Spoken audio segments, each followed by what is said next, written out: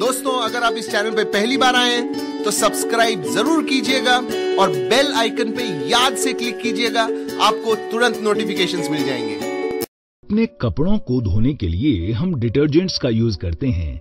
ये मैल, पसीने और काम करते वक्त लगने वाले दागों को हटाता है। लेकिन क्या इनके कुछ साइड इफेक्ट्स भी हैं? हर बार जब आप डिटर्जेंट्स का यूज़ करते हैं तो उसका प्रभाव हमारे पर्यावरण, यानी एनवायरमेंट पर पड़ता है। सबसे पहले बताइए पाउडर्ड या लिक्विड साबुन कौन से केमिकल्स या पदार्थों से बने होते हैं?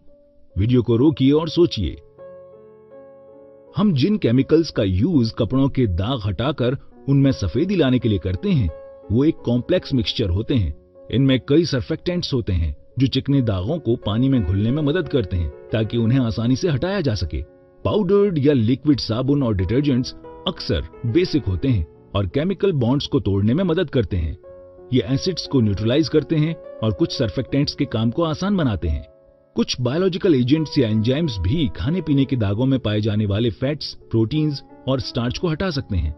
कपड़ों को एक विशेष खुशबू देने के लिए डिटर्जेंट्स में कई सुगंधित केमिकल्स भी मिलाए जाते हैं, जबकि ब्लीचेस में पाए जाने वाले परोक्साइड या फ्लोरसेंट व्हाइटनर्स आपके कपड़ों को एक नई चमक देते हैं। डिटर्जेंट को वॉशिंग मशीन में यूज़ करने से पहले इसे मैन्युफैक्चर किया जाता है। और यही वो जगह है जहाँ पर एनवायरमेंट से जुड़ी समस्याएँ पनपती हैं। आपने कार्बन फुटप्रिंट्स के बारे में तो सुना होगा। यदि नहीं सुना है तो आप हमारे चैनल पर इसका वीडियो देख सकते हैं। माना जाता है कि यदि एक कार एक मील चलती है तो उससे आधी किलोग्राम कार्बन डाइऑक्साइड निकलती है। अमेरिका में एक घर में एक साल में औसतन 300 बार कपड़े धुलते हैं।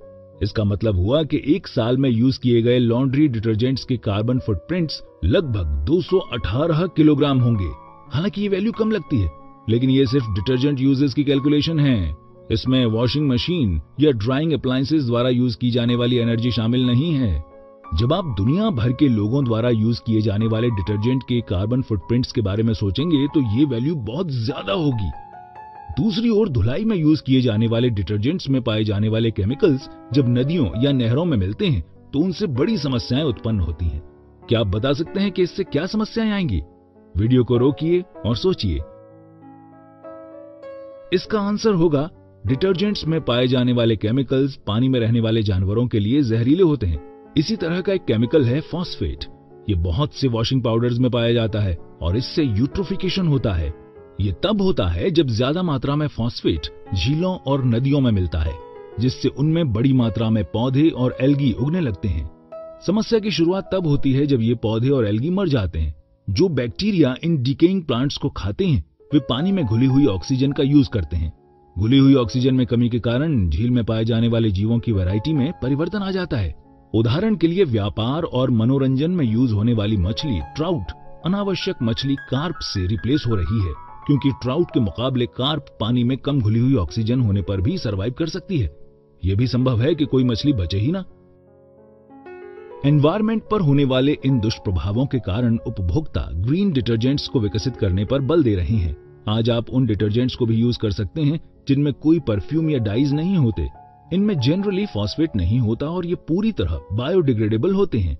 इसके अलावा इन्हें ठंडे पानी में यूज़ करने के लिए डिज़ाइन किया जा रहा है। क्या आप बता सकते हैं कि ऐसा क्यों है? वीडियो को यहीं रोकिए और सोचिए।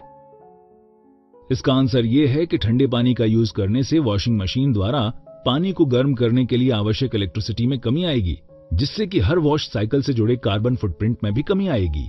वहीं दूसरे तरीकों में कॉन्सेंट्रेटेड फार्मूलों का यूज़ शामिल है। इसमें डिटर्जेंट्स की पैकिंग के लिए यूज़ होने वाले बॉक्सेस का लिमिटेड यूज़ किया जाता है, जिससे शिपिंग और ट्रकिंग लोड कम होता है और कम ऑयल यूज़ होता है।